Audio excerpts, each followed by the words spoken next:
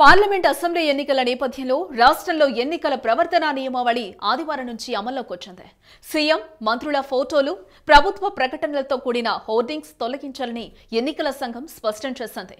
అలాగే కేంద్ర రాష్ట్ర ప్రభుత్వాల వెబ్సైట్లలో పథకాల వివరాలతో పాటు ఆ వెబ్సైట్లలో ప్రధానమంత్రి ముఖ్యమంత్రి మంత్రుల ఫోటోలను తొలగించాలని నిర్దేశించింది. ప్రభుత్వ సొమ్ముతో ప్రచార ప్రకటనల జారీపై నిషేధం ఉంటుంది. ప్రభుత్వ కార్యాలయాలు ప్రభుత్వ రంగ సంస్థలకు చెందిన భవనాలపై ఎటువంటి రాజకీయ పోస్టర్లు అంటించరాదంతే. ఎన్నికల ప్రక్రియ ముగిసే వరకు ఎన్నికల ప్రవర్తన నియమావళిని గట్టిగా అమలు చేయాలని ఏ విషయంలో అలసత్వం నిర్లక్ష్యం పక్షపాతంతో వ్యవహరించిన అధికారులపై కఠిన చర్యలు తీసుకుంటామని ఈసీ హెచ్చరించింది. ఎన్నికల నియమావళిని సీఎం మంత్రులు అధికారులు ఎవరు ఉల్లంఘించినా తీవ్రంగా పరిగణిస్తామని స్పష్టం చేసింది. ఎన్నికల ప్రవర్తన నియమావళిలో ఏం చేయొచ్చు ఏం చేయకూడదో ఇప్పుడు చూద్దాం. ప్రభుత్వాలు ఎటువంటి కొత్త పథకాలను కార్యక్రమాలను చేపట్టరాదు. ఇప్పటికే ప్రకటించిన పథకాలకు ఇప్పుడు లబ్ధిదారులను ఎంపిక చేయరాదు. వర్క్ ఆర్డర్ ఇచ్చినా పనులు ప్రారంభించకపోతే ఇప్పుడు ఆ పనులను చేపట్టరాదు. ఎన్నికల ప్రక్రియ ముగిసే వరకు ఆ పనులు చేపట్టరాదు.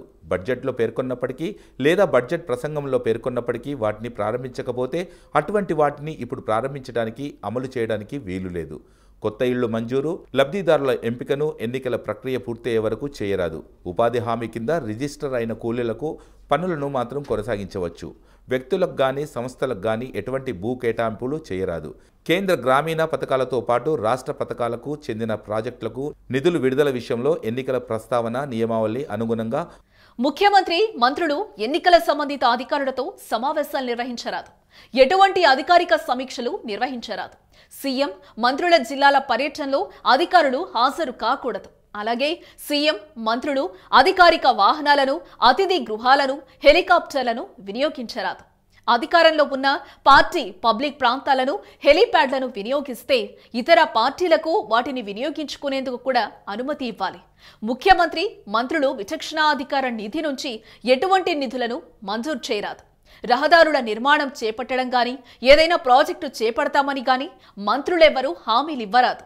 ఎటువంటి కొత్త పనులు చేపట్టరాదు. టెండర్లను ఖరారు చేయరాదు. ఎటువంటి ప్రారంభోత్సవాలు శంకుస్థాపనలను అధికార పార్టీ నిర్వహించరాదు. సంక్షేమ పథకాలకు కొత్తగా నిధులను విడుదల చేయరాదు. ఈ పథకాలపై మంత్రులు సమీక్షలు నిర్వహించరాదు. ఎంపీ రాజ్యసభ ఎమ్మెల్యే ఎమ్మెల్సీ నిధుల నుంచి ఎటువంటి పనులను మంజూరు చేయరాదు. ఇలా చేయడానికి ముందు ఎన్నికల సంఘం ముందస్తు అనుమతి తీసుకోవాలి. ప్రకృతి వైపరీత్యాల సమయంలో అమలు చేయాల్సిన కార్యక్రమాలకు ఈసీ అనుమతి తీసుకుని అమలు చేయవచ్చు ఎన్నికల ప్రక్రియకు సంబంధించిన ఉద్యోగులు అధికారుల బదిలీపై పూర్తిగా నిషేధం ఉంటుంది.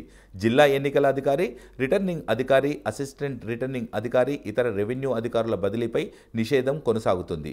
ఎన్నికల నిర్వహణకు సంబంధించి police అధికారులైన IG DIG senior superintendent of police superintendent of police sub divisional police ఆఫీసర్లైన ఇతర పోలీసు అధికారుల బదిలీపై నిషేధం ఉంటుంది. అలాగే ఎన్నికల ప్రక్రియకు సంబంధించిన ఇతర అధికారులు ఉద్యోగుల బదిలీపై నిషేధం కొనసాగుతుంది. ప్రభుత్వ అపాయింట్మెంట్స్ పదోన్నతులు ఇవ్వరాదు. ప్రభుత్వ రంగ సంస్థల్లో వీటిపై నిషేధం. కేంద్ర రాష్ట్ర ప్రభుత్వాల వాహనాలు ప్రభుత్వ రంగ సంస్థలు స్థానిక సంస్థలు మార్కెటింగ్ సహకార అటానమస్ జిల్లా కౌన్సిలింగ్ వాహనాల వినియోగంపై నిషేధం ఉంటుంది. దేవాలయాలు మసీదులు చర్చిలు గురుద్వారాలు తదితర ప్రార్థనా ప్రదేశాల్లో ఎటువంటి ఎన్నికల ప్రచారం నిర్వహించరాదు. ప్రసంగాలు కూడా చేయరాదు. ప్రైవేట్ వ్యక్తులకు చెందిన స్థలాల్లో వారి అనుమతి లేకుండా ఎన్నికల ప్రచారానికి సంబంధించి బ్యానర్లను పోస్టర్లను వెయ్యరాదు ఒక పార్టీ సమావేశం జరిగే చోట నుంచి ఇంకొక పార్టీకి చెందిన ర్యాలీలు నినాదాలను అనుమతించరు. ఒక పార్టీకి చెందిన పోస్టర్ను మరొక పార్టీ తొలగించరాదు. ఎన్నికల ప్రచార సమావేశాలకు స్థానిక సంబంధిత అధికారుల నుంచి ముందస్తు అనుమతి తీసుకోవాలి. రాత్రి పది గంటల తర్వాత ఎటువంటి ప్రచార సభలకు అనుమతించారు. కులం మతం ప్రాంతాల మధ్య రెచ్చగొట్టే ప్రసంగాలను చేయరాదు. ఈ ఎన్నికల్లో సోషల్ మీడియా ట్విట్టర్ ఫేస్బుక్ ద్వారా ప్రచారాల వ్యయాన్ని కూడా ఎన్నికల వ్యయంలోకి పరిగణలోనికి తీసుకుంటారు. ఎన్నికల నియమావళి అమల్లోకి వచ్చినందున పెయిడ్ న్యూస్ సోషల్ మీడియా వ్యవస్థలపై ప్రత్యేక దృష్టి కేంద్రీకరించనున్నాయి.